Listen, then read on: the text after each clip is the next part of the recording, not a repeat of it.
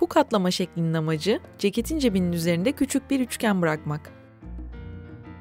Öncelikle mendili dörde katlayın ve bu şekli alması için çevirin. Sol kısmı mendilin ortasına doğru indirin. Aynı şeyi sağ kısımda da yapın.